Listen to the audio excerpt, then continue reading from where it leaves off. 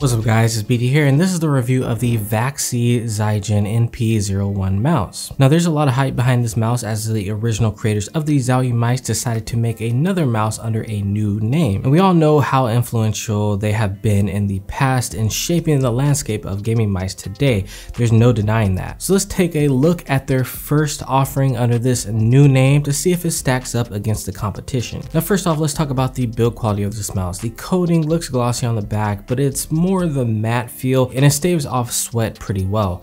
The mouse 1 and 2 buttons are a different texture than the rest of the mouse. It's more of a rougher texture to let you know that your middle finger and your index finger are on those buttons. Me personally, I'm a feeling type of person and this design choice isn't my favorite. I like my mouse to feel uniform no matter what finger I have on the mouse. Maybe I'm just weird, but it distracts me. I would love to see them make this mouse again with a consistent coating on every portion of the mouse. I think this was done to make the mouse 1 and 2 a little bit more durable over time and the coating won't wear down. That's something that the Zowie mice struggled with in the past. They also cut out the mouse 1 and 2 buttons instead of having one full shell like the Zowie mice. This will add a little bit of click consistency no matter where you press on the button. Now the side buttons for me were a little bit far forward. If they could just move them back slightly or make them bigger, it will make them a little bit easier to hit with your thumb. I have to slide my palm a little bit at the back to hit them comfortably. The scroll wheel has a nice rich design on it. They have a shoelace cord that's angled up. It's a little bit stiff uh, compared to other paracord type cables. I wish it were a little bit less rigid, but in a mouse bungee it holds up just fine. Uh, I probably will be replacing this in the near future. On the bottom of the mouse, they have the DPI button as well as the polling rates at 125, 500, and 1000 hertz.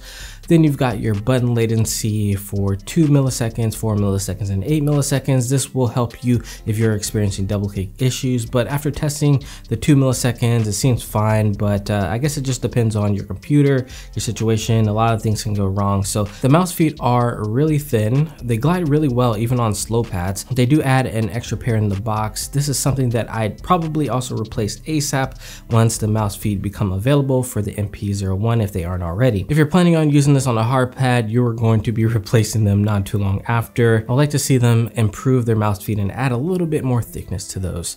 Before we move on to the most important part of any mouse, the shape, let's drop a sound test so you guys can hear what the buttons sound like.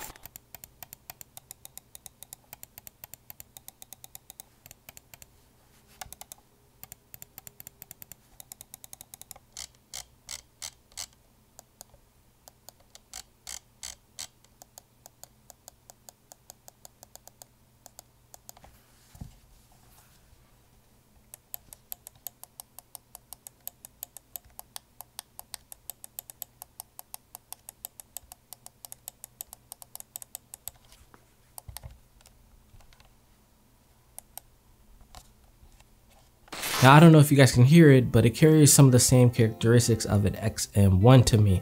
They feel a little bit hollow, not a deal breaker in terms of performance, but if this nags you, that's something to keep in mind. This mouse is really good with pre-travel, that's one thing it does really well. The side buttons have a good amount of tactility, not super light, but somewhere in the middle. The scroll wheel reminds me of those same hard clicks that we saw in Zowie mice that they're known for. Uh, bad for browsing, of course, but good for tactility when switching weapons. So here we are at the most important part of the mouse, shape. This is like if a EC2 and an S2 had a baby, like an EC-S2.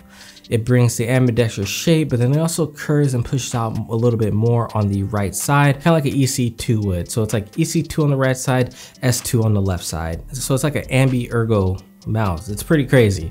It's a very comfortable mouse to hold, especially if you love the S2 or even the EC2. I tried to palm grip this, but it's not very comfortable because the hump is so far back, instead of like in the middle like an Ergo mouse would.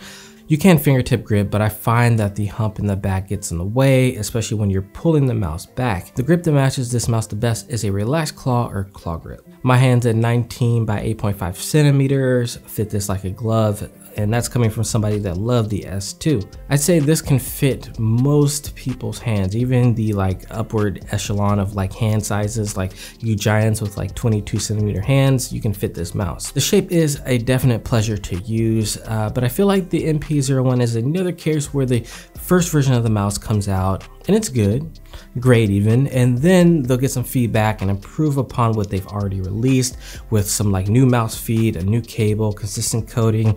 These aren't horrible on the mouse, but nothing that would make it stand out to make it great right out of the box. The shape really saves this mouse. Until the next version of this mouse comes out, I do still think this is worth a shot if you don't mind giving it a bit of love with a new paracord and some feed for the time being. But you're gonna have to spend a little bit more money. It's already costing $60, so you're gonna have to spend another $15 to $20 to get this up to speed with what we've been seeing in the market. It also has a 3389 sensor, performs amazing in game, very accurate. If you've also been in the market for a new shape to try because mice in the past just haven't felt quite right, this could be your guy. Now guys, let's just wait and see how many companies will actually copy the same shape. Alright guys, it has been your boy BT. I hope you guys have enjoyed this review and I'll see you in the next one. Peace.